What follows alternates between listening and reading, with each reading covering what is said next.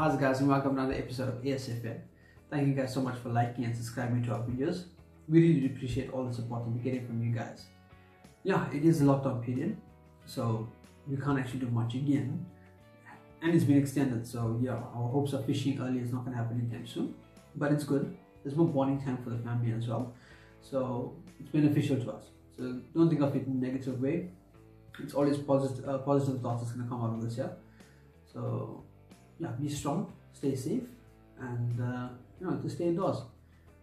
Today's a hot topic. A lot of guys have been watching on social media. They've been chatting about uh, ultimate reef saver traces and best bronze bream trace, best uh, musselcracker trace and stuff. So I had quite a few guys on social media actually inbox me and tell me, you know uh, we've been losing a lot of sinkers, we've been getting stuck a lot, and losing a lot of fish on the reefs as well. What's your preferred uh, trace? So I said, okay, fine, you know what, let me actually make a video for you guys to show you what I actually use. Um, reason why I've been through it. I've lost a lot of sinkers before while fishing on the reefs and stuff, and it's annoying. Especially if you take a handful of sinkers, like 10 sinkers, and you're going 5 k's down to your best fishing spot, and you lose all your sinkers, and you, your day is ruined. It, it ends early because you lost all your sinkers. So today's trace that I'm going to show you guys is my ultimate reef saver trace, and it's going to be beneficial to you guys. So I encourage you guys to try it, and if you guys do, well, I know you guys, you guys definitely gonna have success on it. You're really gonna like this trace. So when you do catch a fish on it, make sure you'll send your catches to grandelite at asfn.co.za. Alright. I'm going to show you guys what you need for the trace and I'll be showing you the trace uh, before I actually start the rig. So first thing you can need, uh, you can either use fluorocarbon or kingfisher lead line. I'm actually using kingfisher at the moment because my fluorocarbon's all finished from the traces that I've been making over the lockdown. Number three, power swivel. Mustad ring soils. This is the 4O. And yeah, now let me tell you guys something. I use the ring soils because this trace that I'm using I actually fish for both bronze bream and brusher. The 4 ring soil is big enough to hook up a, a, bronze bream and it's it's not too big. Most of the guys go small for bronze bream and stuff. Personal preference. I've seen guys hook bronze bream on bigger hooks than this here. If you don't believe me, ask Andre himself. He keys on a on a 5 hoodlum down that on our 120 shop that we did quite a while back. And he was trying for, for muscle cracking hooked a nice size bronze bream. So the beam that we're actually going to be targeting, especially on the baits, I'm going to be doing a bait demo as well on this year. Uh, the baits are going to help you guys catch yours 2 kilo upwards bronze bream. So yeah, this is a very strong hook. I enjoy it a lot. Don't get me wrong, I love the, the wide gape carp hooks, demon circle, uh, and, and chinook hooks. I love them. But for this application, number four, four Mustad ring soil hooks. Your anti-tangle uh, sleeves as well as your beads as well. Your NT number five swivels. Alright, that's smallest in the range. I'm using a 15 mil float. You guys don't have to use a float, but uh, I use a float because I'm targeting both brusher as well as bronze bream and then just a, a toothpick to stop your float. So basically guys, this is the trace here, right? And uh, as you can see, your power source on the top. There's your main line coming down. Is here. It's free running. Now, the reason why I leave it free, I'll show you guys now. And it's you can you can adjust the length of how you want it. Some guys like it longer, uh, because remember one thing with this running free and with this float and the current and stuff this bait can go up high can come back down to the bottom so depending where the bronze bream is feeding it's going to reach that level and uh, I've got a bead here then I've got a stopper at the bottom all the way down is my sinker now take note of this here I'm using the same diameter of line that I'm using as my hooks, hook snood the reason why I'm doing that is because I'm not going to be losing any sinkers. And let me show you guys something. This is the trace and this is why I don't use the thing, uh, thin sinker line. When a fish comes and pulls on this hook here, as it pulls down, your sinker comes up. You guys can see that. So there's no way you're going to be losing sinkers because your fish is going to be pulling up here into the water column and your sinker's lifting with it. And there's your, your main line here which you can put a lot of pressure on to pull that fish. So there's no way. And even if this thing swings, it's because of the NT and stuff, it's going to swing and swing and swing. It's not going to tangle whatsoever. So you're not going to have a kink in your line. You're not going to lose the sinker. If you're worried about your knot, don't be concerned at all. The sinker knot is cushioned enough. There's your stopper that you made, alright, with a figure of 8 normal nylon, and there's your bead.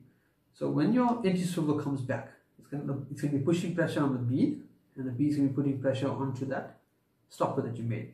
And because it's the form of figure of 8, it acts like a spring. And if you guys can see that, let me just get a bit closer. There, acts like a spring. So it's not going to affect the knot on your sinker at all, right? So when you're done, after landing a fish, you want to readjust adjust your trace. All you do is you pull your stopper back up, and that's your trace back again. If you're not very happy with your stopper, if you find it's a bit too loose, you can always put another stopper on. So that's my ultimate reef trace. Now let me show you guys how you rig this. Alright guys, um, let's start, start off with this rig quickly.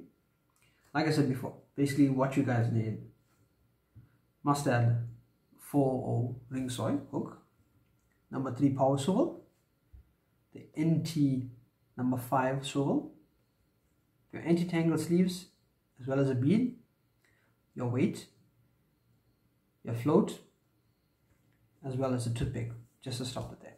And obviously your fluorocarbon. Now you can choose the diameter you want. I'll normally go 5.5 or 0.6 on, on the specific trace. But you can go lighter, can go heavier, it's up to you. This is what I prefer. So yeah, let's start off with the rig quickly. So the first thing you're going to do is start off with your hook. So you're going to make your, your hook line first. So you take your hook. You're going to be doing a standard figure of eight. Which is basically you feed the line through the eye of the hook then you take it once twice three times over. Feeding back through. And you pull tight. That's a figure of eight there.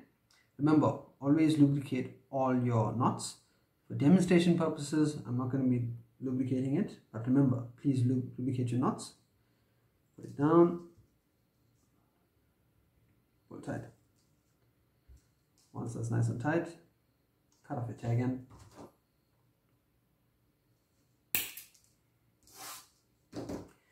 Okay. I normally go about 25 to 30 centimeters long on my hook snood some guys go a bit longer on it but that's what I like. So I'm going to go about 30 centimeters long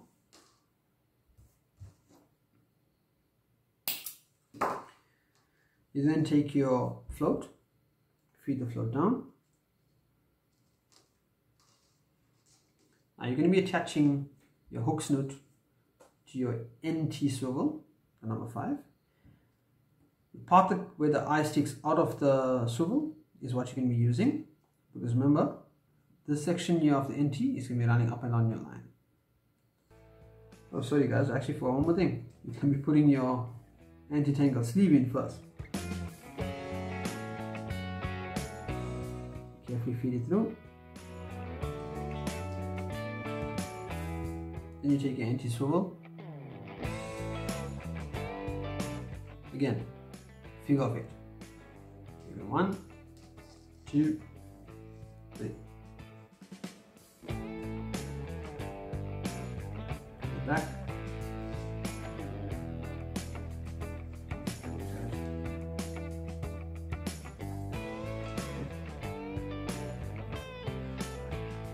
There. Pull it nice and tight down. Perfect. Cut off the tag end.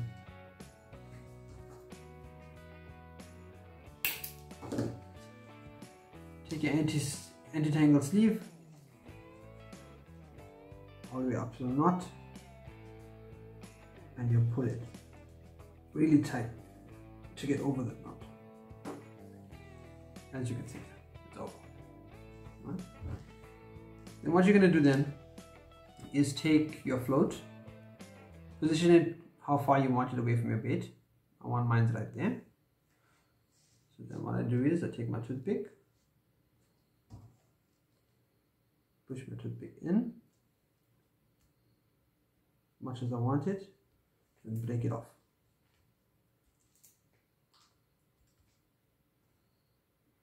Toothpick came out there, push it in again. Perfect.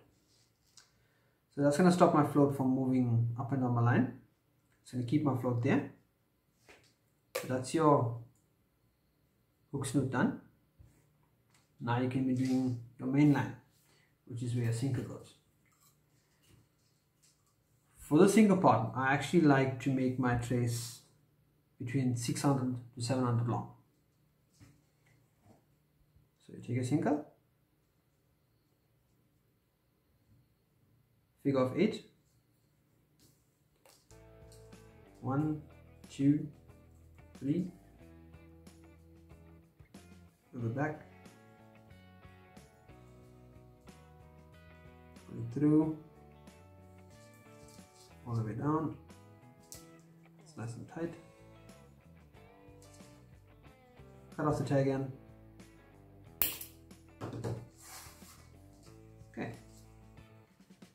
the length that you like,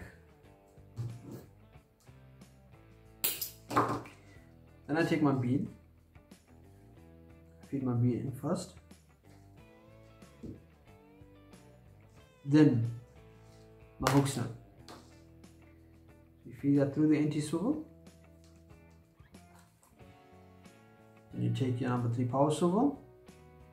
And again figure of eight there's no fancy knots. It's all figure of eight it's a very very strong knot. You're not to have any issue there.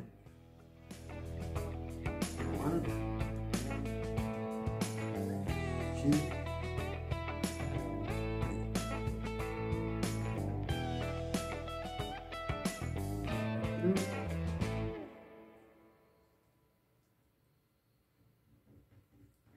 two, tight. Remember, always, always lubricate knots. Uh, I'm only not lubricating the knot because of, of the demonstration purposes, but please always remember to lubricate your knots. Okay, so that's it there. Now, what you're going to need to do is your stopper. So how do you make your stopper? Take a piece of line and you make a standard figure of eight again. That's one, two, three. Back through. Form the figure of eight. There, pull tight. Now, you're not going to pull it too tight where it's not going to go back down. You're going to pull it just enough so you can move. And you'll play with it and feel the tension. That's perfect. Cut your tag ends off. Both sides. Position where you want your stopper to go how far you want it hanging, the hook hanging from the sinker. So that's basically it. And that's your trace. Remember, when the fish comes and he takes you on this hook, he's going to pull your sinker all the way back. Guys, that's my ultimate reef trace that I use when I'm fishing into structures where there's a lot of scattered rock and there's heavy ledges where I need to pull the fish up and I'm going to be afraid of my sinker catching the reef. In this way, I know my sinker is not going to catch a reef because my fish is going to be on and I'm going to come all the way out. Hope you guys enjoyed this video and please do try this race and don't forget, send your catches Grand elite at asfn.sierra today and what you get on this race. Cheers.